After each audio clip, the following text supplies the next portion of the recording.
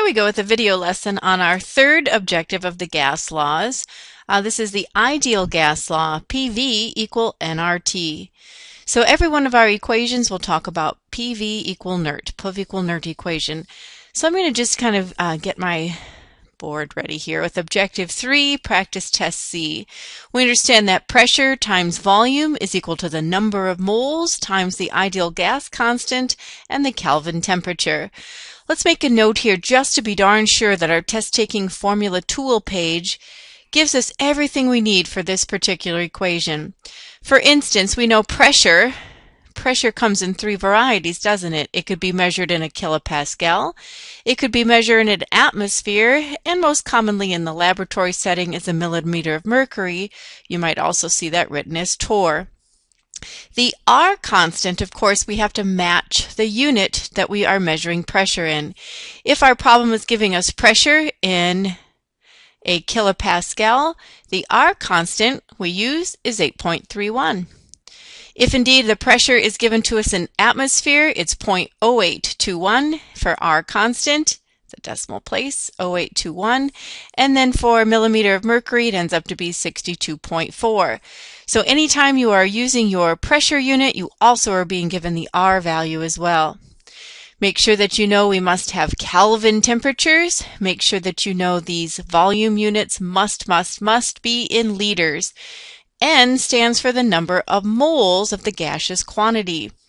Now keep in mind, moles is equal to grams over molar mass.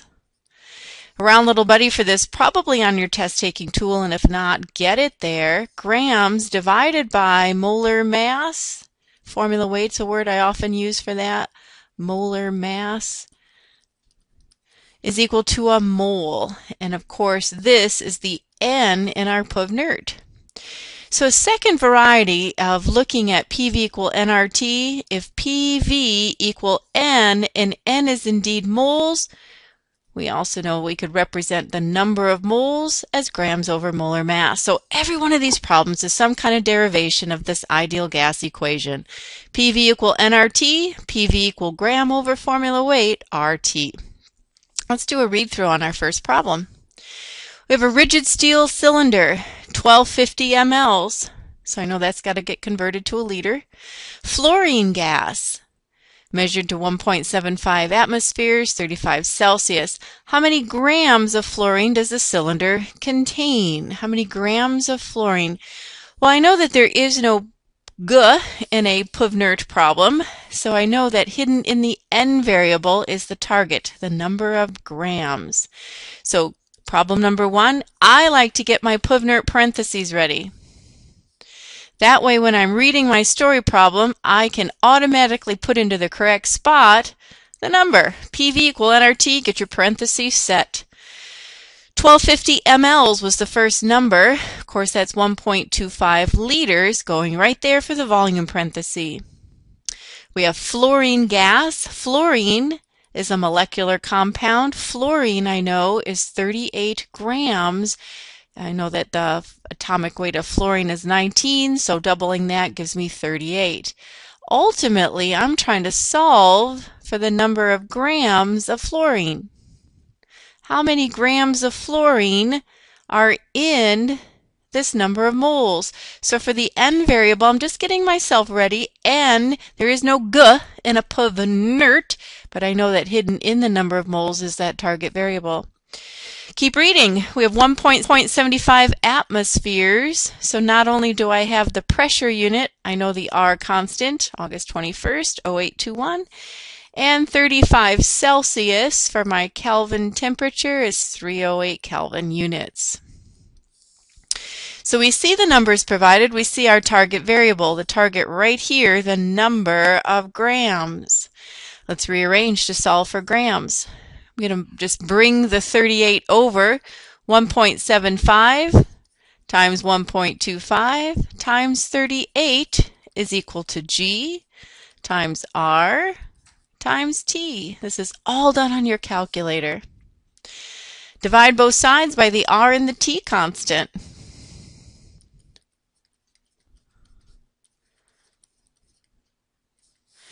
And of course now we've canceled those and we divide both sides and we can pull out the number of grams. Grams can be found by taking the pressure. Hit this with me please. Hit it with me. 1.75. Whoops, clear screen. 1.75 times 1.25, our volume for liters, times 38. That's the molar mass of molecular fluorine. Divided by parenthesis 0.0821, the R constant, times the Kelvin units of 308. Close parenthesis. And the number of grams, 328.72. Whoops, I put my decimal in the wrong spot. Well, let me rewrite that. 328.73 grams of fluorine. Process this. Just take a moment and make sure you've gone through the steps. How did I pull out X grams of fluorine? When you're ready, go on to number two. Second problem, we want to find pressure. Target is in millimeter mercury. Given 15 grams of hydrogen, 24 Celsius, and we're in a 1700 milliliter vessel. I'm going to go back and just get my parentheses ready. I just like to do it that way. Here's my PV equal N R T. PUV equals NERT. Now that you read your story problems, plunk in that correct number for the, the uh, variable. We're looking for pressure. We have to end in millimeter of mercury, so now I know my gas constant, 62.4. I gotta match the pressure by correct R. Next number is 15 grams of hydrogen. Well, really, that's given me the N, the moles. 15 grams of hydrogen set over its molecular mass of 2. That's my formula weight or molar mass. 15 halves is the number of moles of hydrogen. Let's leave it right like that in the parenthesis, grams over molar mass. Temperature was 24 Celsius, 297 Kelvin units. Oops, I had a dyslexic moment there. 297 Kelvin units, and we're looking for 1.7 liters. Remember that was an ml in the story problem, but we have to convert it to a liter. 1.7 liters. Let's solve for pressure. Ready? Calculator sequence. Hit this with me. 15 halves, 15 divided by 2, times 62.4 times 297. Now let's divide out the 1.7 liters and we'll have our pressure. 81, whoops, I'm in a funny group there. 81,762.35. 81,762.35 millimeters of mercury. That's an extremely high pressure. Keep going. Number three. Number three wants to know volume. Sorry, a volume of 100 grams of krypton. It's a molar mass of krypton. 145 Celsius and a pressure of 10.3 atms. Let's get our parentheses ready. I'm going to need to Google molar mass of krypton. I don't have a periodic table in front of me. Uh, Linda, spell it right. Krypton molar mass.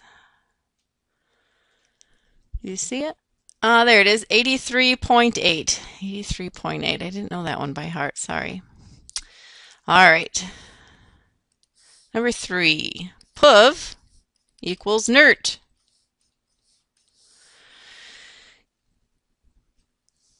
A hundred grams of krypton 83.8, the molar mass of krypton. See what I've done? Grams over molar mass is the N variable, the number of moles.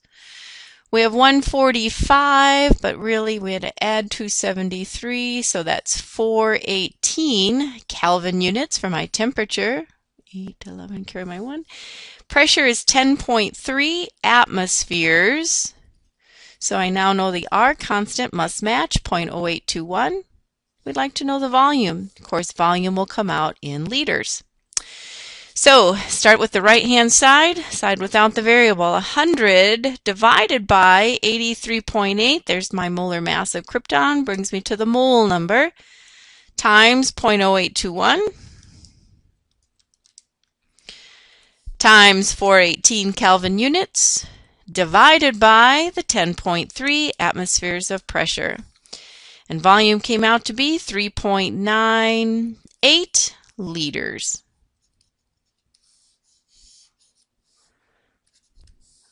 Number four.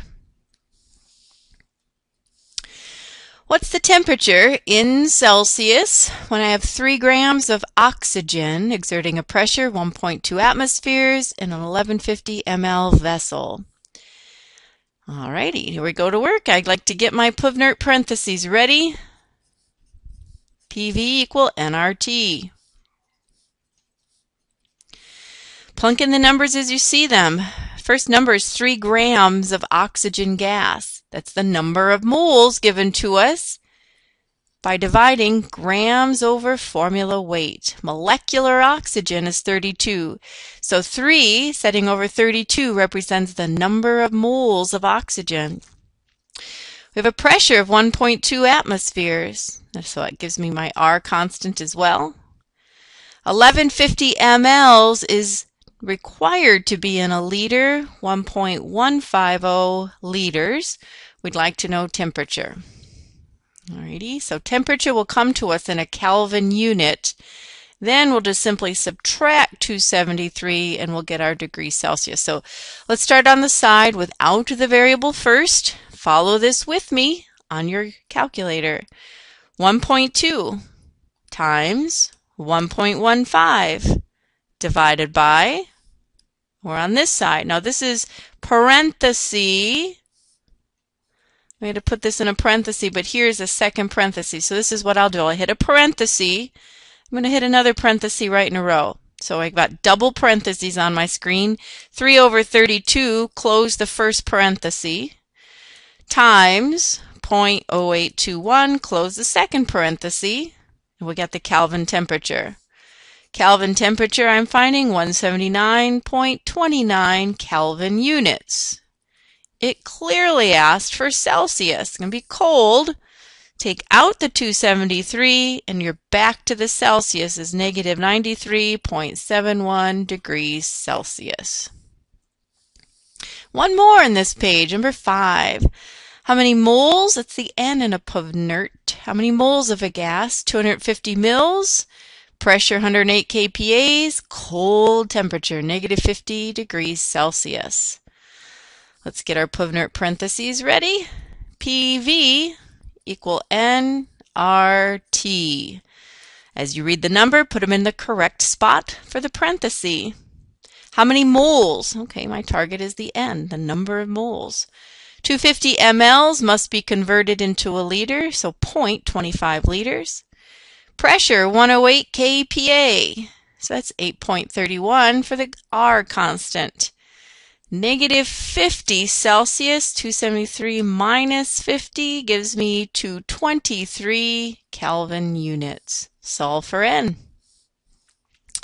Key sequence. Start on the side without the variable. So 108 times 0.25 divided by parenthesis 8.31 times 223, close your parenthesis. The number of moles, 041, oh, I'm sorry, 0145. Let's round that to be, well, should we say 015 moles of a gas that's not identified. So there's our answer. We cannot label it. It didn't tell us the, what the identity of the gas. Hey friends, you just su successfully Puvnerted. A plus. Give yourself that feeling. When ready, go on to the next objective.